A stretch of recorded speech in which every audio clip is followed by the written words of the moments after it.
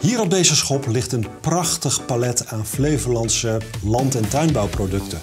Kleurrijk, smaakvol en gezond. We zijn de Floriade begonnen met de vraag hoe we een groeiende wereldbevolking in 2050 duurzaam en gezond kunnen voeden. Om de groeiende wereldbevolking die meer en meer in steden gaat wonen duurzaam te voeden, zijn kortere ketens tussen boeren en producenten en consumenten nodig.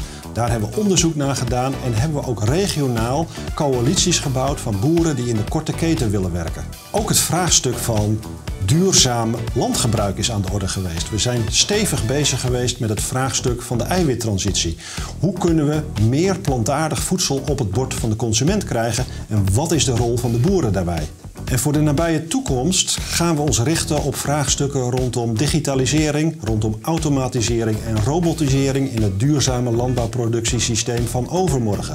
Daarbij komen nieuwe technieken aan de orde, zoals strokenteelt, de inzet van robots, maar ook de inzet van meer teeltechnieken op basis van agro-ecologische uitgangspunten. Dat kan hoogtechnologisch met een minimale impact op het milieu en toch met een productie die past bij een groeiende wereldbevolking.